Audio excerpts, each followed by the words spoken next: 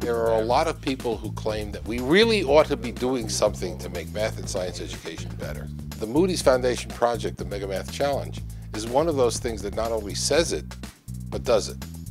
And what they do is they provide an incentive, which are these college scholarships, for students to demonstrate that they can take an applied problem, which is not easily solved, for these students to be able to do this kind of analysis in a meaningful way demonstrates that these kids have a lot of capability. And these kids are just exemplary of the kinds of students that we have probably all over the country.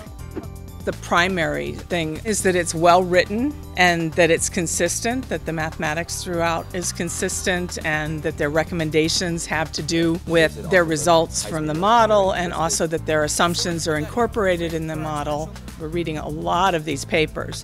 So to stand out, some degree of creativity, not just doing the basic, obvious thing, but thinking a little bit outside of the box really brings things out too. This contest models real world problems. Real world problems are, are known by the fact that they don't have neat, simple, straightforward solutions. So, one of the things you have to do is to make assumptions that enable you to solve the problem in a reasonable period of time.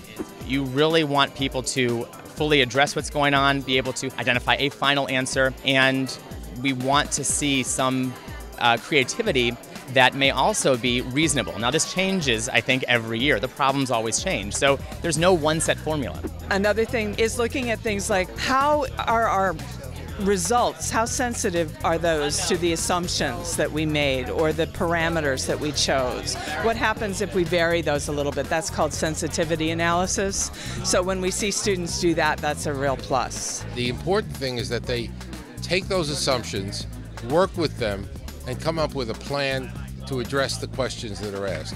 All these teams, they addressed the problems in a way that was clear, understandable. They communicated mathematics really well. And that really, more than anything, that makes me happy. I want students to be exposed to math modeling exposed to math in real world situations. You make it sort of to that final round a little bit because of creativity. At the end, we're really nitpicky about the technical aspects. So it, it's a blend, but certainly if, if a paper's not well written, we're not even going to find the good technical aspects. If you just do sort of the same kind of model that everybody's doing, that also doesn't spark attention either. So mathematical creativity, where you know I really thought about this problem and I thought about other approaches, really can make you rise to the top also. It's the most vigorous exam probably that there is in terms of the steps that one has to go through. We go through a a triage. Each paper is read three to four times. Then it goes to Philadelphia, and we have a team of 12 judges read the papers. And finally, there's this validation. During the discussion in Philadelphia, sometimes there'll be a question that arises about a paper, and, and then frequently that will end up being a question that we ask the teams here. But we come here with an idea of the ordering of the teams. I mean, that's one of the things that's important is it's the paper that they wrote that determines who wins. It's not the quality of their presentation here. The only thing the presentation can end up doing is answering a question one way or the other that we had coming into here.